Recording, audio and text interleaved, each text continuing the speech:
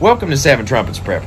Guys, it is um, a very stormy day here in East Tennessee land. And um, if you didn't see the other video I popped off here this afternoon, it was about the P. Diddy thing, and I'm not going to get into that in this video, but links in the video description below to that. Is um, I don't know what the deal is with people's minds right now. But if you don't feel this shift in the air, this energy shift, I don't know what's going on because I feel like many, many believers, myself included, that there is something being spoken to our spirit vibrationally. I can just feel it just sitting here. I can feel it just saying this. Uh, I just feel this this shaking inside, and, and, and not like fear and trembling, just like uh, something's off, something's changing, something's different. And I'm telling you straight up that we are at the threshold at the time of the end of the Gentiles. The other day, I seen a video of a camp of Hebrews that I prefer not to mention. I don't want to give them any validation, good, bad, indifferent, or anything. But there was this camp that was on TikTok. People had filmed that they marched through Springfield, Ohio. And here's the thing: if if they weren't so militant, if they weren't so anti toward the Gentiles and hateful and not wanting to see people saved and enter in the kingdom, I would totally endorse these people. I would have endorsed them a long time ago, but I've watched their spirit. I won't connect with it. Matter of fact, I've seen people in Torah community go at it with them that are Hebrews. That's enough for me as a Gentile to know I'm on off base, not having nothing to do with it. But for the sake of this conversation, I watched them people march through Springfield, Ohio the other day, and it was a massive amount of people. And this awakening will not be suppressed.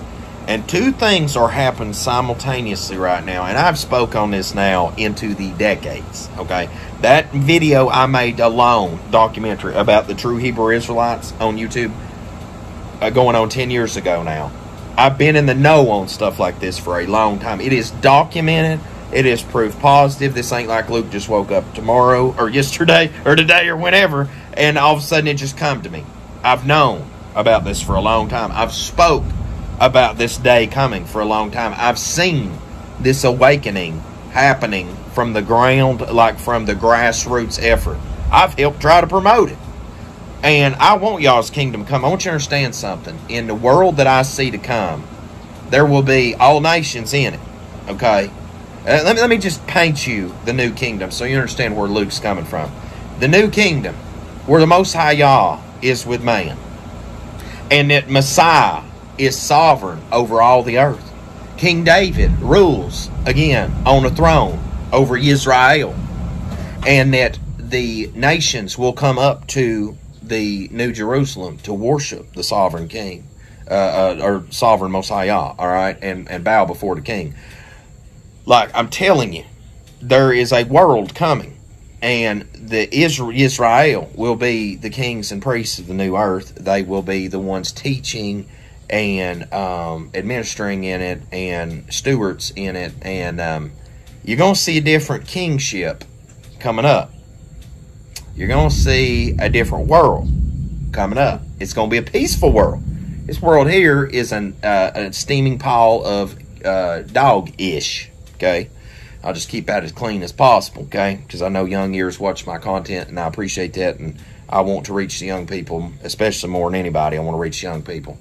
Um, because us, all, uh, you know, I'll just call myself an old head now because I'm about to be 40. And then the elders, actual elders, we all gonna do whatever we're gonna do at this point. I mean, you either in this thing or you're out. That's just is what it is. so, you know, the for especially for the undecided youth, you got to understand that the time of the Gentiles, the time of the nations, is coming swiftly to an end. You see earthquakes on greater scale now than ever before. You see wars and rumors of wars greater scale now than ever before. There is so many signs of Matthew 24 on the wall that we honestly would need a checklist to for me to set before me right now and go down through it note for note to make sure I don't miss anything because it's that much going on. I mean, like there's pagans literally talking about the river Euphrates. There's people that are non-believers talking about the river Euphrates drying up. And even if you think that the United States of America is the old land, all right, the old world, and the river Euphrates is Mississippi, guess what?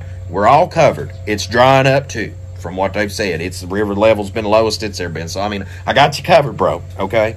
So I'm and I'm not trying to take shots at nobody. I'm just saying like we get like all these debates that we're all having or, or studying or kind of confused on or whatever the case may be, man. Like it's getting so wild out here, you can almost cover it on all bases. So just rest easy. But the the the melting down of this country, I almost feel like that. You see, I like I always get these like I wouldn't say premonitions, but like these these feelings that um, before things happen. I've been getting dreams ever. I mean, it is nuts how many dreams I get when I sleep anymore. And I just feel like that after November 7th, I feel like November 7th, uh, and not that I care about the election, but I feel like November 7th is like that last little nail going in the coffin of this nation. And it is the solidification of how the death will be. Like, I feel like this republic is dead. Okay, like you understand, November seventh, the life support gets pulled. Um, like we're on life support at this moment. Okay, um, and, and what's going to happen is is we just going to know which day way this republic will die. Okay, that'll be settled out. And as America falls, and as I said in that other video, uh, touched on with the P Diddy thing a minute ago, is that is America dies and you watch this BRICS nation thing rise, and Turkey joining in being the 10th king, uh, 10 kings of Revelation, I believe that it will be them. Um, you know, uh, joining in this thing is that, like I said in another video, if you give me $10,000 US dollars right now or $10,000 of BRICS money, I'd want the $10,000 BRICS money because I know I'm going to have spending power with it. Like, I, if, if somebody was going to hand me, and not to talk about money right now, uh, on Sabbath day, but I'm just telling you, like right now, if you said, uh, how do you want your money? Like, I bet, well, number one, I'll take it in BRICS. Number two, I'll take it in Bitcoin. And lastly, I'll take it in US dollars. Like, that's how low respect I have for the currency of this nation. And as I said in that other video, too, I know people think that I hate this country. I love my fellow man. I love my countrymen. I don't care you're white, black, Asian, Hispanic, non-Hispanic, Latino. I'm trying to check all them boxes, you know, on the ethnicity uh, sheet that they give us all the time. Alaskan, Native Indian, blah, blah, blah, blah. Uh, whoever you are, I don't care. Love you. Want to see you winning. I wish everyone in this world was winning because you know what? If we were all winning, nobody'd be losing and nobody'd be killing each other. And I ain't trying to preach communism either. I'm talking true winning.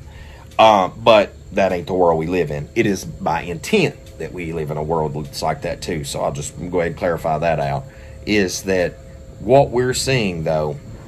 It's going to ramp up and you got two pillars at the same time, one crumbling and one being raised up, is that the United States of America, uh, if it gets burnt with fire from these ten kings, like Revelation talking about, I mean, you got to you got to think the two meanest dogs on the block always fight. The two biggest bullies always fight. All right, this it's, somebody's always got to be number one, and somebody's got to be number two.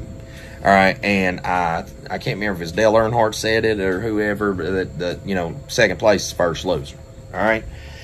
And rest in peace, Dale. Boy, he's a heck of a race car driver. I missed him. Uh, still miss him, but uh, miss my dad too. Man, he loved loved watching Dale race. That was that was our thing. But uh, anyway, when when this all shakes out, right, is that you're gonna have America's demise at hand uh, after November 7th, and then especially with this BRICS thing, gold standard returning. Then you have this uh, you have this uh, serious thing creeping up here that people don't see, paying attention to, ain't vibing with it. Is that you have these Hebrew Israelites coming online? They tell you something. They figured out who they are. There's an awakening taking place. It ain't gonna stop. These folks are going to be hurt. The Most High is going to make sure and regather his people. Uh, I don't know exactly how every mechanism and cog and gear is going to turn that transmission when this thing starts fully going. I don't know what it's all going to shake out like. I don't know. Well, you know, I, I hope I make it in the new kingdom. I hope I'm counted worthy to life when the judgment bar is passed over me. I mean, when I look at myself, I'm like, lust of the flesh is my biggest sin. I won't steal nobody, kill nobody, uh, blah blah blah. You know, like it's always been women in my life. That's all he's seeing, man. It's the whole world that's that's that's been my one thing. So I'm not too deeply concerned on the rest of the stuff in life. I just need to be vigilant about the other.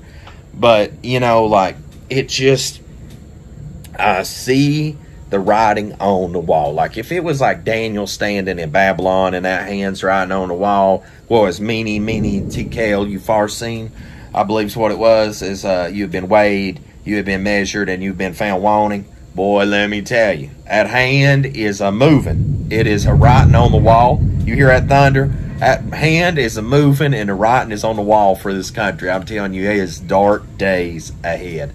And I don't, I, I don't hate like I said, I don't hate my countrymen. I hate this construct because people think this country's for us, right? When you read the Constitution, it was for a certain set of people. When you fast forward now and you look at the Patriot Act, that was take freedoms away from people. There's nothing patriotic about it. Patriot Patriot Act is one of the most terrorist things ever done in this country uh, by its leaders to this day, in my personal opinion. Um, this whole lockdown that we went through was the second one. Well, I don't even know which ones put at first place. They're both just atro- atrocities. And so, you know, I, I, to me, I know that I'm probably going to be caught up in conflict at some point. I don't know how, any way we can avoid it. But you got to understand that the time of the Gentiles is coming to an end. The time of the nations, Gentiles, nations, okay? The nations. Time of the nations are coming to an end. You soon going to see Messiah sitting, ruling with a rod of iron, right? On that uh, throne. And it is going to be a different world that you live in. I hope you're okay with it. I hope you can find peace with it. Uh, I'm not pandering to Hebrew Israelites either. Like, I, if I was a Hebrew Israelite, I'd tell you the same thing. Like, this is just what's happening. It's what the book says. You can either join the club or you can be on the house. As for me, I, my house will serve Most High Yah and keep his commands, and I hope I'm counted as commonwealth of Israel and have an inheritance in the new kingdom as well. And, you know, whether I'm um, a servant to the crown or, or a free man or whatever, um, my thing is I'll have eternal life. I will have the access to the tree of life. These things matter to me. You know, like I don't want to perish. I don't want to die. I'll tell you one number one reason I don't want to even die in this life is because I have fought too darn hard to learn the truth, to not live it out and see the judgments passed out. Like I'm telling you what, right now, you know that song "Swing Low, Sweet Chariot" coming forward, carry me home. All right, well that was a slave song, a slave song, right? The Hebrew sung whenever they were in bondage, you know, and um, here in this country. And you know, I, am telling you what, if the right now the chariots of Most High come down here and was loading everybody up, take them home. Right? There's just raptured. Everybody keeps preaching about that. You know, ain't happening. it ain't happening, bro. Uh, but anyway, you're gonna see that real fast. And that first trumpet pops off. Boy, old Luke was right on that too. You can hate me for that too.